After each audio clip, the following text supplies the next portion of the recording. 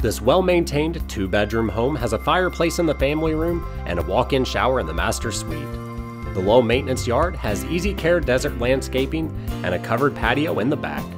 Keep cool with the air conditioning that was replaced in 2015. The street has quick, easy access to shopping, dining, the airport, and I 10 freeway. Don't wait, schedule a tour with Lisa Craze before it's too late.